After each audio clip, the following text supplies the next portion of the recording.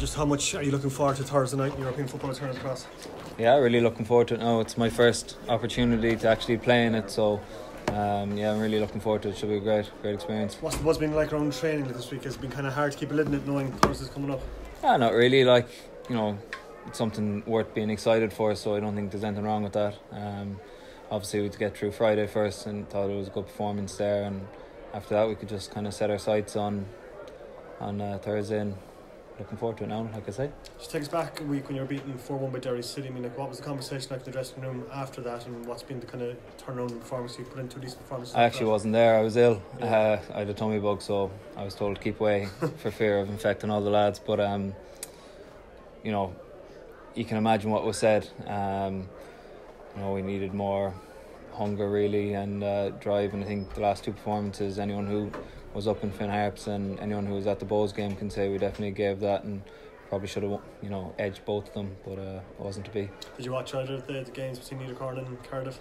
Yeah, watched the first leg. Yeah, um, they look good, tidy footballers, so uh, should be a good game. What kind of a, a step up are you expecting in, in European football, Colm? Like, or is it is it something you can't kind of expect until you've actually experienced it? I don't know. um, I expect it to be a lot more technical.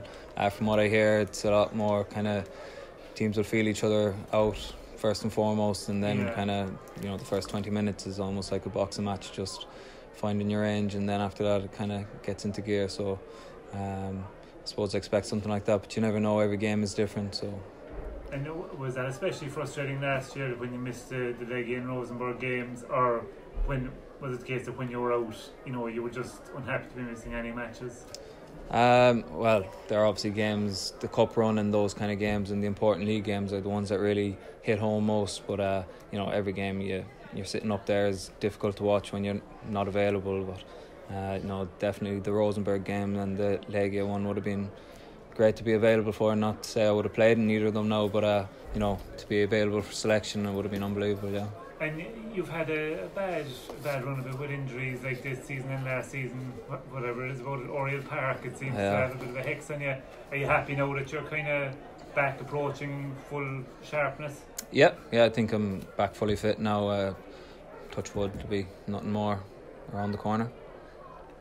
Um, Colm, obviously, they put the likes of like Alan Bennett and Liam Kearney and Con Healy, the coaches stepped up. But their European experience, have they been that that be useful? If I suppose to tap into, They- have they been sharing that with some of the players? Uh, well, sure, most of the boys have it in abundance as well. Like um, you know, there's only a few of us that haven't had a chance to play it. So um, you know, the boys obviously are sharing their knowledge, which is to be expected. But uh, you know, the lads know what to expect as well. And is it something like as, as league around footballers? How much do you look forward like to playing in Europe? Ah, it's one of the best you know things about playing in the League of Ireland, and you know the likes for those Preston boys. Most of them will never get to play in Europe. You know, they're obviously earning a lot more money. Um, and a perceived much higher standard in the championship, but they never get a chance to play in Europe and stuff like that, which is something that you know you can really, really look forward to and enjoy and look back on when you retire as something that was unbelievable. Been struggling to score goals home and away in the last couple of matches. How important on Thursday now is it to actually take to actually score and take a lead? Where would you a return match? I'm not sure really. Like you know, we could draw nil all, and could draw one one all away, and we go through. Like you know, so um, we go out every game to try and win it. So and try to score as many goals as possible. The last two games wasn't to be. Um, wasn't through a lack of trying. I don't think anyone who's at the game would have said that. Um, so hopefully we can take our chances now on Thursday and take a lead to Luxembourg, but it's going to be a tough game.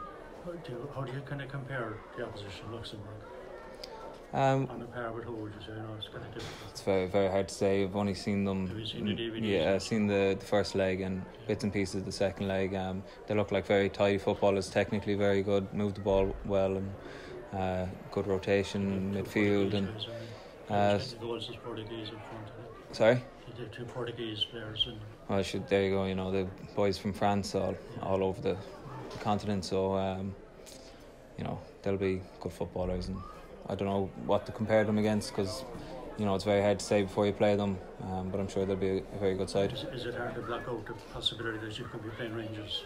Uh, it's, it's been mentioned not around the dressing room, but I've had a, a lot of people saying it to me. Oh, sure, you could have Rangers now in the next round. Uh, you know, there's no point saying it ourselves unless we actually can go and do the business. You know, we just have to take one game at a time. How have you found the change in system the last couple of games, Colm? You know, do you find yourself getting forward more and, and having to work on that side of it? Yeah, yeah, probably should have had a goal or two the last day, but um, bit of, bit of blood rush to the head uh, when I had that volley, to be honest. Yeah. But uh, I seen myself thinking the keeper blasted the ball over the bar.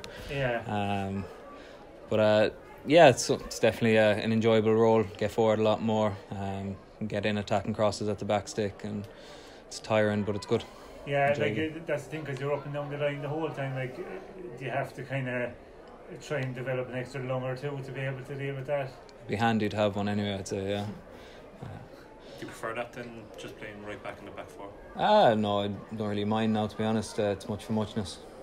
Yeah.